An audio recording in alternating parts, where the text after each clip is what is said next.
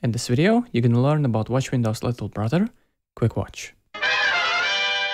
Let's place a breakpoint and run our project in debug mode. Ordinarily, one way of looking at values would be to use the watch window. But what if you only wanted to look at one or two values quickly and that's it? There's actually a slightly simpler alternative called Quick Watch. Select a variable, right click on it, and select Quick Watch. Alternatively, you can just use the Shift F9 shortcut. In our case, this will open QuickWatch window with a user instance displayed. From here, you can do all the basic things you can do in the watch window. You can assign a value, you can assign an expression. If you want to track something else, you can change the expression above.